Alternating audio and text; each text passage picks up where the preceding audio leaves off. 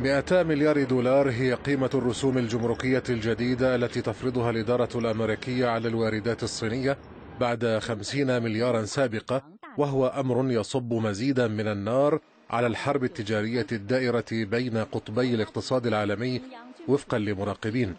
وعلى عادته في الذهاب نحو أقصى الخيارات ثم الدعوة للمحادثات يكرر الرئيس الأمريكي دونالد ترامب الأمر ذاته مع الصين. ففي حين يتخذ القرار بمزيد من الرسوم الجمركية يدعو مسؤولو إدارته إلى استئناف المحادثات وفقا لصحيفة بلومبرغ. وربما لا ينتهي الأمر عند هذا الحد.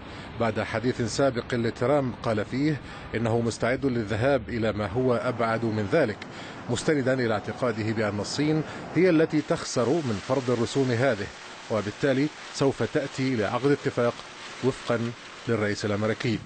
ولكن لدى الصينيين وجهة نظر أخرى.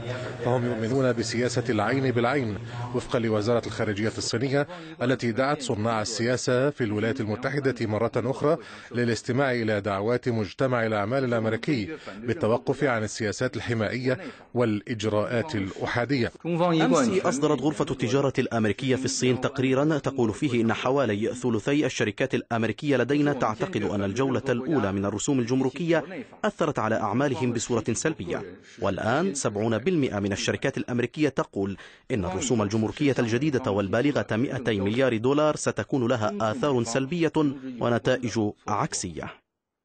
وتخشى أطراف عدة من الاتحاد الأوروبي من أن تؤثر هذه الحرب الدائرة بين أكبر اقتصادين بشكل سلبي على مجمل الاقتصاد العالمي.